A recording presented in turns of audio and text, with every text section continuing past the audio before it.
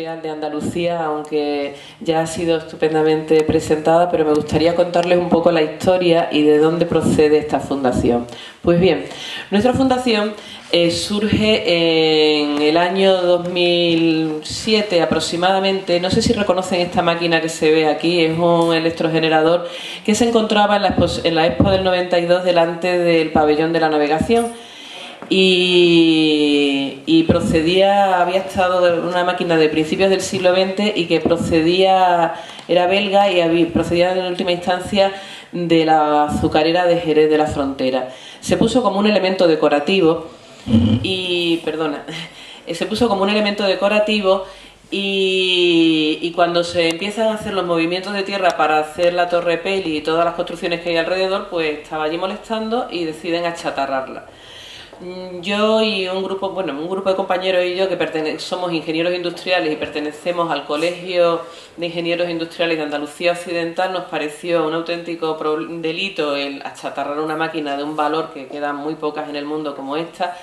Y nos pusimos en contacto, empezamos a movernos con los responsables de la máquina, con las empresas que quedaban que gestionaban los restos del patrimonio de la, de la Expo y entonces con ayuda en parte de lo que era entonces Cajasol y nosotros, casi todo lo puso el Colegio de Ingenieros, pues se salvó la máquina y actualmente se encuentra en la puerta de la Escuela de Ingenieros. Se adecentó, se le hizo un pedestal, se limpió y se escribió incluso un artículo, tenemos unos folletos donde se explica la historia de la máquina.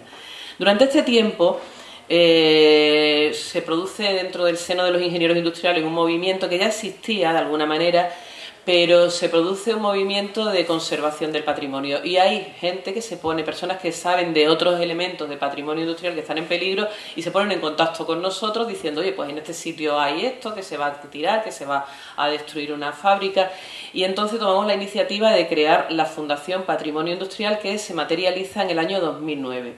Mal año si queremos hablar desde un punto de vista económico, porque lo que en principio podía haber sido una fundación para aportar y, hacer proyectos de mantenimiento, pues la crisis económica que nos había llegado nos empezaba a golpear fuertemente a los colectivos profesionales, sobre todo, bueno, por dos razones fundamentales, porque hay menos actividad económica y por las leyes que reducen la obligatoriedad de los visados en los proyectos, pues así iniciamos nuestra andadura, con dificultades pero con muchísima ilusión. Y la verdad es que en estos cinco años que llevamos de trayectoria estamos mm, pues contentos, satisfechos y con muchas expectativas. Les voy a comentar un poquito lo que hacemos. Eh, como proyecto fuerte hacemos cada dos años unas jornadas de patrimonio industrial. Las primeras las hicimos en el año 2010 en Sevilla, las segundas en el 12 en Cádiz y en este mes, el 24, empezamos en Málaga una jornada. Estas jornadas son de un, tema, muy específico, presentan ponen comunicaciones personas posgraduados y bueno, por ahora vamos en Málaga con 47, me parece bastante exitoso, bueno, muy exitoso porque son temas muy específicos.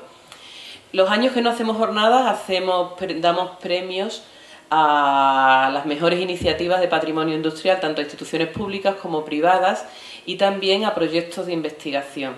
En el último año se ha premiado a la conservación del silo de fuentes de Andalucía, entre otros, y a una asociación minera que hay en Huelva, en un pueblo de Huelva, y a dos proyectos de investigación, uno que, que hablaba sobre el muelle de Tarsis y sobre las bodegas de Jerez. Como pueden ustedes ver, ah, tenemos un ámbito de actuación enorme, porque cuando empezamos a hablar de patrimonio es tanto, tan rico, tan intenso. Y lo que quiero transmitir sobre todo es que nos han hecho creer bueno, quizás me tenga que remontar un poco hacia atrás. El patrimonio, la conservación del patrimonio procede eh, a principios de los años 60 en Londres, había una estación de ferrocarril que se decide tirar bueno, pues para construir torres de piso y esas cosas. Y entonces hay un movimiento ciudadano importante que se pone en contra y esto se va extendiendo a Alemania, a los países de Europa, del norte de Europa, y empieza a crearse el movimiento de patrimonio industrial. En, en España entra por Cataluña, porque Cataluña evidentemente tiene un riquísimo patrimonio. eh, sobre todo por las fábricas de hilaturas que aprovechan la geografía propia de los ríos con grandes corrientes que se producen en la región, en, la, en Cataluña, no voy a decir. Eh, y nos han hecho creer siempre que son los catalanes y los vascos los que tienen gran patrimonio, pero eso es absolutamente falso. Grandes hornos ha habido en Málaga, ha habido fundiciones, ha habido reales fábricas. Aquí en Sevilla tenemos tenido real fábrica de artillería, que está ahí, en la avenida Eduardo Dato, un poquito mal estado, pero bueno, está ahí. Hemos tenido la fábrica de tabacos. Ha sido ciudades pioneras en el darle trabajo a las mujeres. Y, y, industria agroalimentaria, la que queramos, tanto Jerez, que es única en el mundo, como industrias de conservera, bueno, todas las relacionadas con el aceite, la sal, el trigo, etcétera, etcétera. Y todo eso es lo que nosotros queremos poner en valor a base de, bueno, con muchísimas actividades, visitas. También hemos hecho, por ejemplo, un concurso de pintura ahora en mayo con una exposición en el salón en un salón del ayuntamiento sobre los puentes de Sevilla, no paramos de hacer cosas y vemos que tenemos muchas posibilidades de ampliar.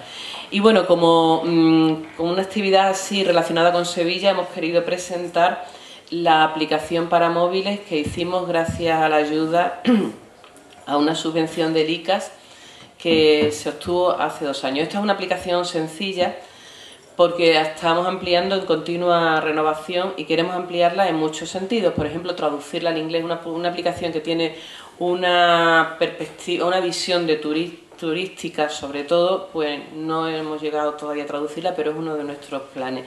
Y queremos también ampliarla a otros edificios relativos a la industria, pero no puramente fábricas.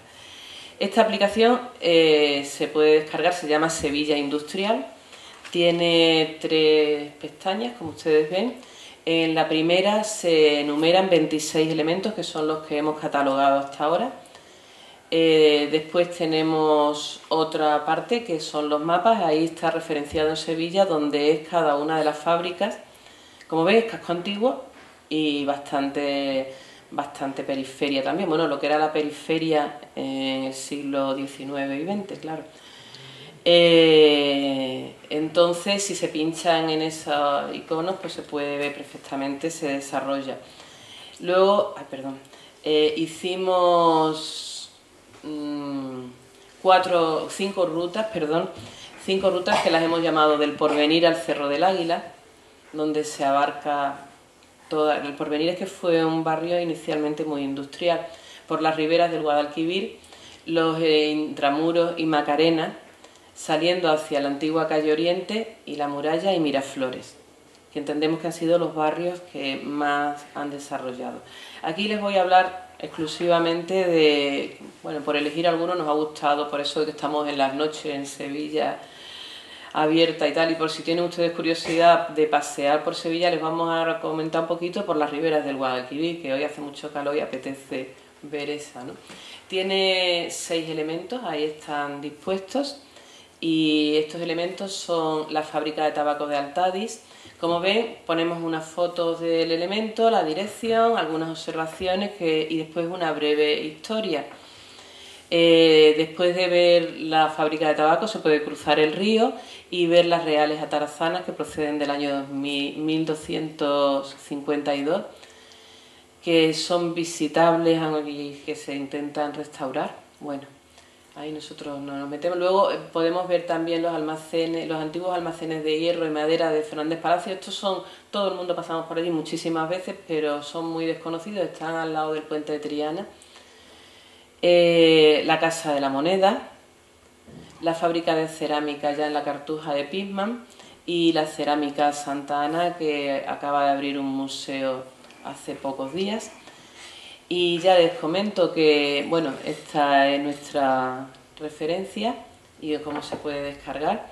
Tenemos intención de ampliarla, ampliar la ficha, documentarla más y tenemos también intención de hacer este tipo de aplicaciones pues para otras capitales de Andalucía entre otras cosas. También nuestro proyecto, no quiero dejar de hablar también porque es un tema, si tengo tiempo, si todavía me queda un minutillo, no me queda un minuto, uno, venga, uno, que estamos haciendo muchísima, eh, mucho, tenemos mucho interés en la memoria histórica, en la memoria oral y hemos hecho un trabajo importante sobre la memoria oral de la fábrica de vidrios de la Trinidad que está destruida, está en un estado bastante ruinoso, y también en la memoria oral de los trabajadores, eh, de los ingenieros superiores mm, que tenemos colegiados. Y ahora estamos intentando empezar a trabajar sobre la fábrica de... Bueno, ya me he puesto nerviosa, ya con esto de que me queda poco tiempo. ya. Bueno. Venga, termina, termina. Vamos muy bien de tiempo, la verdad. Bueno, pues no le entretengo más. Muchísimas gracias por su atención y muchas gracias a la iniciativa Sevilla Abierta por habernos invitado.